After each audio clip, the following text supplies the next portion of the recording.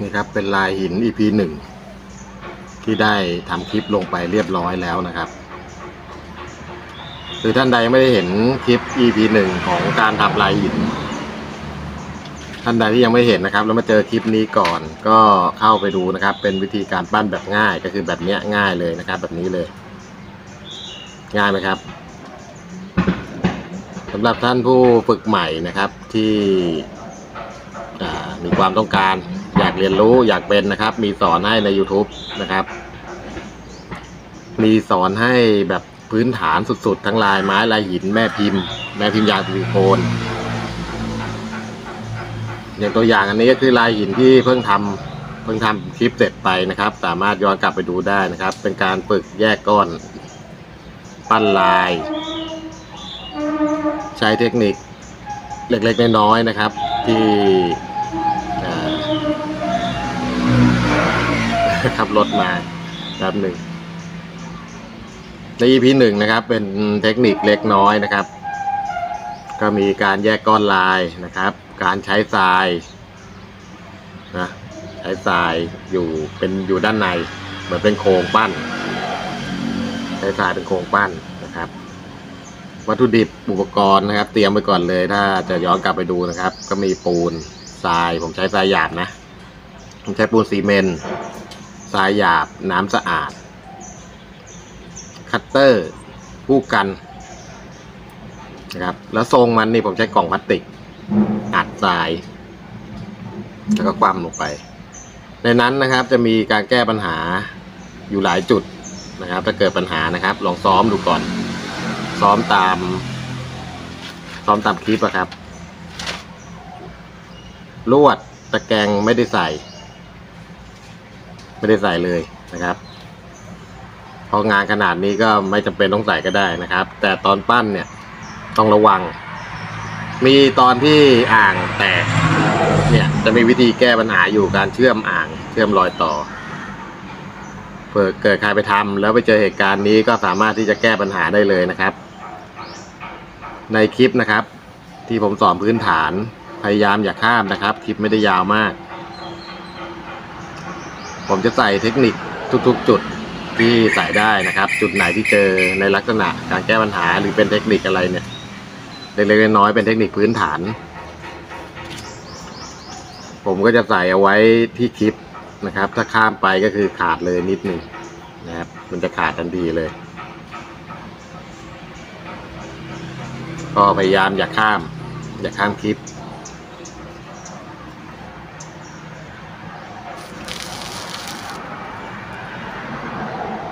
คือคือทีแรกจะบอกเทคนิคก่อนทำหรือหลังทำเนี่ยบอกได้แต่คร่าวๆนะครับ แต่ในถึงจุดหน้าเหตุการณ์จริง ไม่สามารถที่จะเราไม่สามารถไปทำแล้วเรา คือการบอกในตอนเนี้ยไม่สามารถที่จะแบบให้เห็นภาพชัดได้ แต่พอไปทำแล้วเจอเหตุการณ์จริงนะครับ ไปดูที่คลิปนะเจอเหตุการณ์จริงปุ๊บนะมันจะมีทั้งภาพและการอธิบายอยู่ วิธีการแก้ปัญหา วิธีการใช้เทคนิคต่างๆสำหรับพื้นฐานสุดๆนะครับ มันจะมีภาพประกอบพร้อมคำอธิบายก็คือภาพเหตุการณ์จริงที่ทำแล้วแตกจริงๆนั่นแหละครับ เราซ้อมกับอันอันแบบเนี้ยอันง่ายๆ อันเล็กแบบเนี้ยนะฮะแล้วเจอวิธีแก้ปัญหาเราก็สามารถที่จะมีเหมือนกับมีประสบการณ์แล้วนะครับ ในการที่จะไปทำงานที่ประสบการณ์ที่ไปทำงานที่ละเอียดและใหญ่กว่านี้ ซับซ้อนกว่านี้ได้นะครับ นี่เป็นการแก้ปัญหาพื้นฐาน ที่ต้องรู้เลย เพราะว่า เดี๋ยวพอไปทำงานที่ใหญ่ขึ้นละเอียดขึ้นนะครับ เราจะได้มีประสบการณ์ไปทำได้ไปแก้ปัญหาได้ไปใช้เทคนิคได้ผมจะปั้นในแนวแบบหยาบ โดยใช้ทรายหยาบ ท่านใดอยากใช้อยากมีงานเนียนและละเอียดให้ใช้รายให้ใช้ทรายละเอียด เป็นส่วนผสม นะครับ ถ้าต้องการผิวผู้ขาเนี่ย มันจะทำง่ายนะครับ จะใช้ทรายหยาบ แต่ถ้าต้องการผิวเรียบเนียนแล้วไปใช้ทรายหยาบเนี่ย มันจะทำยากกว่า แต่มันก็ไม่ยากมันสามารถที่จะทำให้เนียนได้เหมือนกันนะครับแต่ผมเลือกเป็นอย่างๆจุดๆตัดเป็นช่วงๆก่อนโปให้เรียบก็ได้นะครับ ให้เนียนก็ได้เนี่ยด้านในเนี่ยที่ผมสัญญาว่าเดี๋ยวผมจะมาโปให้ดูนะครับ เดี๋ยวรอนิดนึง เดี๋ยวจะมาทำไว้คลิปหนึ่ง นะครับ ด้านในก็หยาบ คืออันนี้นะครับ ถ้าด้านในเนี่ย เราทำโปเรียบได้ เราก็สามารถที่จะขายได้แล้วนะ แต่ถ้าแบบเนี้ยมันขายไม่ได้นะครับ ถึงแม้ข้างในจะเป็นดินก็ตามอะแต่มันดูไม่เรียบร้อยเวลาเราทำขาย แต่จุดประสงค์ผมคือสอนลายก่อนแนะนำถ้าท่านใดอยากทำขายเนี่ย เรายังโป้ไม่ได้เดี๋ยวผมจะทำคลิปสอนโป้ไว้ให้ด้านในนะ ดี๋ยวผมจะทำคลิปไว้คลิปหนึ่ง ก็คือ ในคลิปผมก็บอกเรื่องวิธีการโป้แต่ก็ไม่เห็นภาพก็เลยสัญญาว่าจะทำคลิปให้ทำคลิปการโป้ให้โป้ให้เรียบนะครับแล้วถ้าอยากให้เรียบเลยโดยที่ไม่ต้องโป้ในระดับหนึ่งเนี่ยมันก็จะมีวิธีอยู่นะครับ อันนี้ก็ต้องเอาไว้อีกก่อน เพราะตอนนี้จี้จุดประสงค์ในการแยกก้อนลายก่อนเพราะเดี๋ยวต้องไปปั้น ไปปั้นงานที่เขาเรียกว่าละเอียดขึ้นกว่านี้นะครับ ไปรับรู้ปัญหาก่อนว่าเกิดอะไรขึ้นบ้างในคลิปนะครับ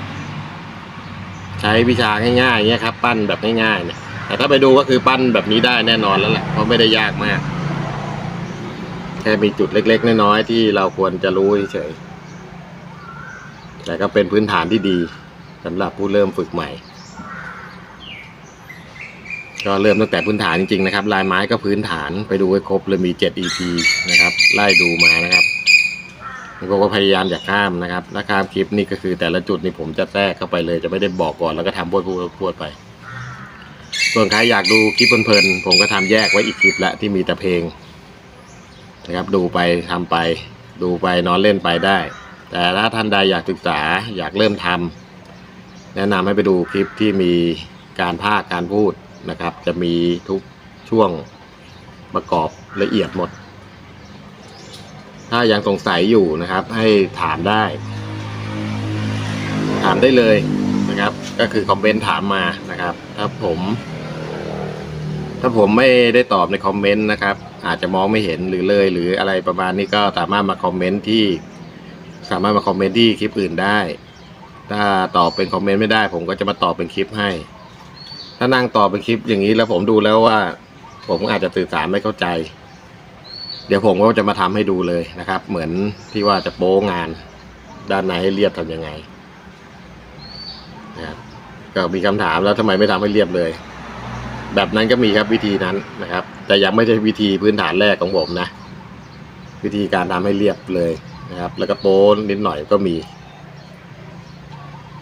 แต่นี้ในกรณีเราฝึกเราฝึกก่อน นะครับ เดี๋ยวเราค่อย เดี๋ยวเราค่อยพัฒนาขึ้นไป ว่าจะทำวิธีไหนวิธีไหน มีบอกหมดแล้วนะครับ มีบอกคร่าวๆหมดแล้วก็มีนะครับ ว่าจะทำไงให้ด้านในเรียบนะครับ ไปดู EP หนึ่งได้โอเคนะครับ เดี๋ยวคลิปจะยาวเกินไปนะครับ เหมือนเดิมครับพยายามจะทำให้คลิปสั้นที่สุดนะครับ อย่าลืมช่วยกดไลค์กดแชร์ กดติดตามเป็นกำลังใจให้ผมด้วยนะครับ ผมพยายามทำคลิปที่มีประโยชน์ที่สุด แล้วก็ละเอียดที่สุดพื้นฐานที่สุดเพื่อให้ทุกคนได้เข้าถึงได้ คนที่อยากจะทำได้เข้าถึงได้ อยากเอ่อก็คืออยากให้เข้าถึงเลยตั้งแต่เริ่มผงปูนมาจับกันเลยแบบเนี้ยเล็ก ๆ น้อยๆนะครับ ให้เข้าถึงก่อนพอเราได้เข้าถึงแล้วเท่ากับเราได้เดินไปอีกหนึ่งขั้นแล้วนะครับ แล้วอย่าลืมกดกระดิ่งให้ผมด้วยนะครับ มาเจอกันครับ คลิปหน้าจะเป็น EP สองจะเป็นอะไรนะครับ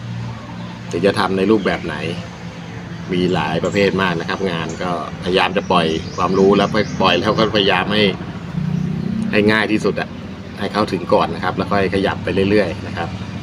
ใครอยากดูผลงานก็ที่โรงงานผมทำบริษัทผมทำก็ไปดูที่เพจนะครับ มีที่เพจผมก็เอางาน